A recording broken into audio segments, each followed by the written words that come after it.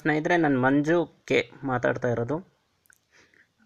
ನಾನು ನಿಮಗೆಲ್ಲ ಹೇಳಿಕೊಟ್ಟಿರೋ ವಿಷಯ ಯಾವುದ್ರ ಬಗ್ಗೆ ಅಂತಂದರೆ ರಿಕೋವಾ ಅನ್ನೋ ಸಾಫ್ಟ್ವೇರ್. ಇದು ಪಿರಿಫಾರ್ಮ್ ಡಾಟ್ ಕಾಮ್ ಅವರಿಂದ ಪ್ರಸ್ತುತಪಡಿಸಲಾಗಿರುವಂಥ ಸಾಫ್ಟ್ವೇರ್. ಇದರಿಂದ ಉಪಯೋಗಗಳು ಏನು ಅಂತಂದರೆ ಸ್ನೇಹಿತರೆ ನೀವು ಪೆನ್ ಡ್ರೈವ್ಸ್ ಮೆಮೊರಿ ಕಾರ್ಡ್ಸ್ ಮತ್ತು ಲ್ಯಾಪ್ಟಾಪ್ ಡೆಸ್ಕ್ಟಾಪ್ ಇದನ್ನೆಲ್ಲ ಯೂಸ್ ಮಾಡ್ತಿರ್ತೀರಿ ನಿಮ್ಮ ನಿತ್ಯ ಜೀವನದಲ್ಲಿ. ಕೆಲವೊಮ್ಮೆ ವೈರಸ್ ಅಟ್ಯಾಕ್ ಆಗಿ ನೀವು ಫಾರ್ಮ್ಯಾಟ್ ಮಾಡಬೇಕಾಗಿ ಬರುತ್ತೆ ಅಥವಾ ಇನ್ನೂ ಕೆಲವೊಮ್ಮೆ ಅಕಸ್ಮಾತಾಗಿ ಕೆಲವು ಫೈಲ್ಸ್ಗಳನ್ನ ಡಿಲೀಟ್ ಮಾಡಿಬಿಟ್ಟಿರ್ತೀರಿ. ಅಕಸ್ಮಾತಾಗಿ ಡಿಲೀಟ್ ಆಗಿಬಿಡುತ್ತೆ. ಅಂತಹ ಫೈಲ್ಗಳನ್ನ ಅಥವಾ ಫೋಲ್ಡರ್ಸ್ನ ಪೂರ ಅಥವಾ ಮೆಮೊರಿ ಕಾರ್ಡ್ ಫಾರ್ಮ್ಯಾಟ್ ಆಗಿದ್ದರೆ ಆ ಡೇಟಾನ ವಾಪಸ್ ತಗೊಳ್ಳೋದ್ರ ಬಗ್ಗೆ ಬ್ಯಾಕಪ್ ತಗೊಳ್ಳೋದ್ರ ಬಗ್ಗೆ ಆ ಫಾರ್ಮೆಟ್ ಆಗಿರೋ ಡೇಟಾನ ಪುನಃ ಮರಳಿ ಪಡೆಯುವ ಬಗ್ಗೆ ಇರುವಂಥ ಸಾಫ್ಟ್ವೇರ್ ರಿಕುವ ಇದು ನಿಮಗೆ ಸಹಾಯ ಮಾಡುತ್ತೆ. ಇದರಲ್ಲಿ ಇದನ್ನು ಯೂಸ್ ಮಾಡೋದು ಹೇಗೆ ಅನ್ನೋದ್ರ ಬಗ್ಗೆ ನಾನು ನಿಮಗೆ ಹೇಳ್ತಾ ಇದ್ದೀನಿ. ಮೊದಲು ನೀವು ರಿಕುವಾ ಸಾಫ್ಟ್ವೇರ್ ಗೂಗಲಲ್ಲಿ ಸಿಗುತ್ತೆ. R E C U V A.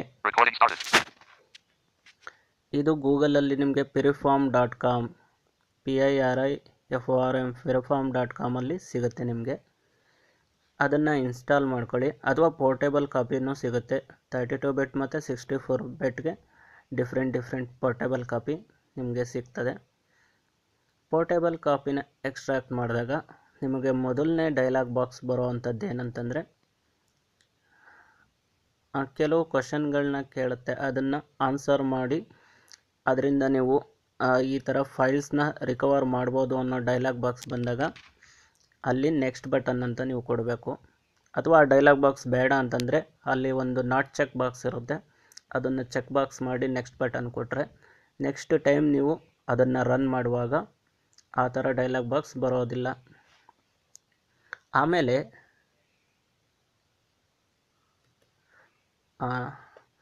ಅದಾದಮೇಲೆ.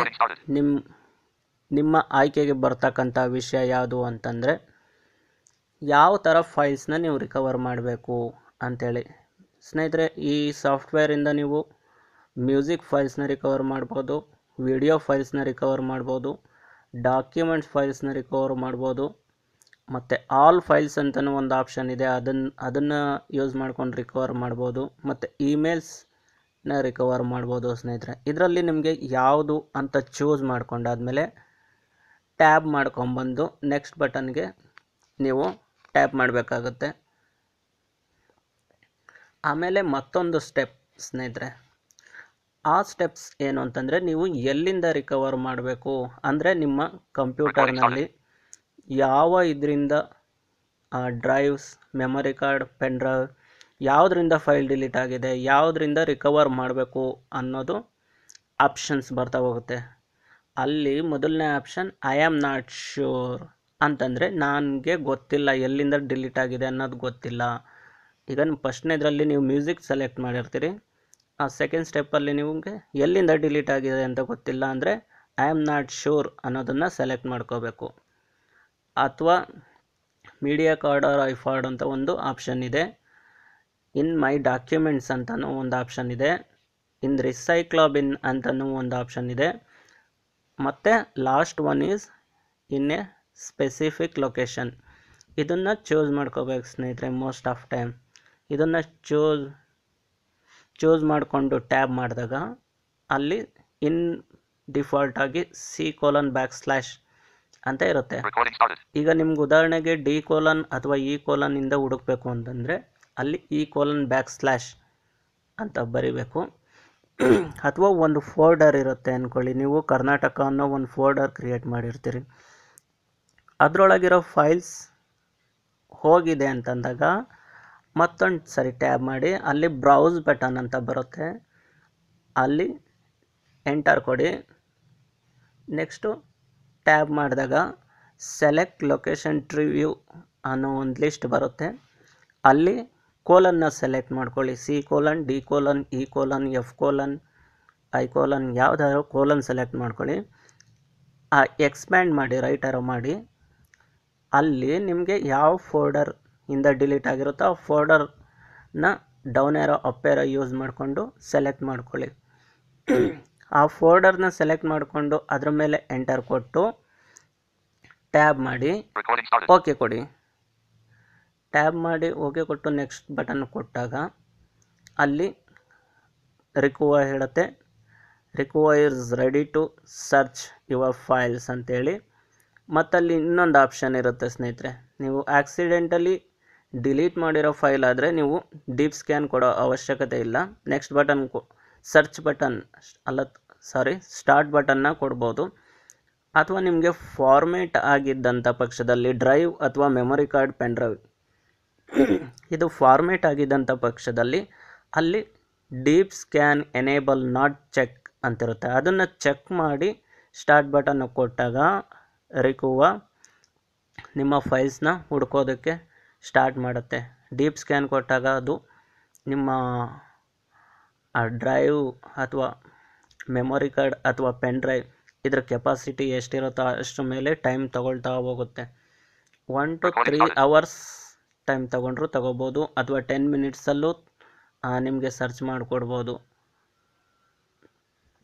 ಹಾಗೆ ಡೀಪ್ ಸ್ಕ್ಯಾನ್ ಕೊಟ್ಟಾಗ ಫೌಂಡ್ ಆದಮೇಲೆ ಅದು ಹೇಳುತ್ತೆ, ಇಷ್ಟು ಟೈಮಲ್ಲಿ ಇಷ್ಟು ಫೈಲ್ ಫೌಂಡ್ ಆಗಿದೆ. ಈಗ ten minutes twenty five less few files found ಅಂತ ಇಷ್ಟು ಎಂ ಬಿ ಇದೆ ಅಂತೇಳಿ ಅಲ್ಲಿ ಟ್ಯಾಬ್ ಮಾಡ್ಕೊಂಬನ್ನಿ. ಟ್ರೀ ವ್ಯೂ ಬಾಕ್ಸ್ ಬರುತ್ತೆ.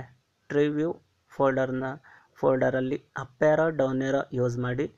ನಿಮ್ಮಿಂದ ನೀವು ಎಲ್ಲಿ ಲೊಕೇಶನ್ನಲ್ಲಿ ಸೆಲೆಕ್ಟ್ ಮಾಡಿರ್ತೀರೋ ಅಲ್ಲಿಂದ ಡಿಲೀಟ್ ಆಗಿರ್ತಕ್ಕಂಥ ಫೈಲ್ಸ್ ಫೈಲ್ಸ್ ನಿಮಗೆ ಫೌಂಡ್ ಆಗುತ್ತೆ, ಅಲ್ಲಿ ತೋರಿಸುತ್ತೆ.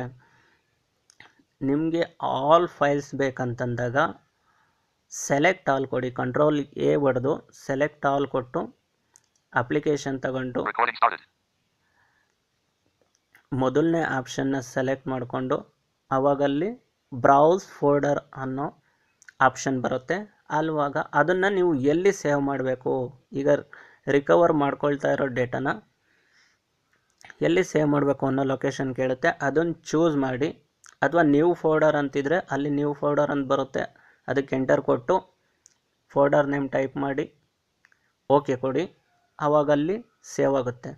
ಮತ್ತು ಇನ್ನೊಂದು ವಿಷಯ ಏನಂತಂದರೆ ಸ್ನೇಹಿತರೆ, ನೀವು ಯಾವ ಡ್ರೈವಿಂದ ರಿಕವರ್ ಮಾಡಿರ್ತೀರೋ ಅದೇ ಡ್ರೈವ್ಗೆ ಡೇಟಾನ ಖಂಡಿತ ಸೇವ್ ಮಾಡಬೇಡಿ ಬೇರೆ ಡ್ರೈವ್ಗೆ ಸೇವ್ ಮಾಡಿ.